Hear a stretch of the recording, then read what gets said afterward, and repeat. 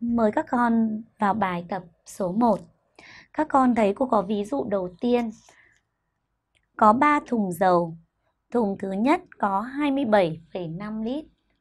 Thùng thứ hai có 36,75 lít.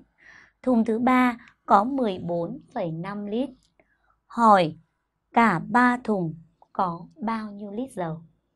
Các con cùng lắng nghe lại có 3 thùng dầu.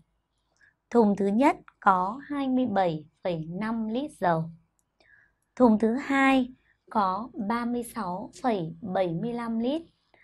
Thùng thứ ba có 14,5 lít. Hỏi cả ba thùng có bao nhiêu lít dầu? Bài toán này thì cho chúng mình biết điều gì nào? Và bài toán này yêu cầu chúng mình tìm điều gì? Bài toán này cho chúng mình biết rõ ràng có 3 thùng dầu. Đúng không nào? Mỗi thùng có bao nhiêu lít người ta đã cho biết cụ thể rồi.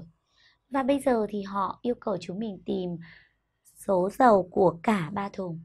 Mà muốn tìm số dầu của cả ba thùng thì các con phải thực hiện phép tính gì? Quá dễ dàng đối với các con đúng không? Chúng mình phải thực hiện phép tính cộng của các số 27,5 36,75 cộng với 14,5 và bằng bao nhiêu lít? Có đúng là bài này chúng mình phải đi tìm tổng số lít dầu của thùng thứ nhất, thùng thứ hai và thùng thứ ba không? Vậy ở đây ta thấy phép cộng này của tới 3 số thập phân. Chúng mình làm thế nào? Khi mà tính nháp, chúng mình sẽ cộng như cộng các số tự nhiên đấy các con ạ. À chúng mình sẽ ghi cả ba số thập phân thành một cột đặt tính. Ta cộng như sau nhé các con cùng xem quan sát cô làm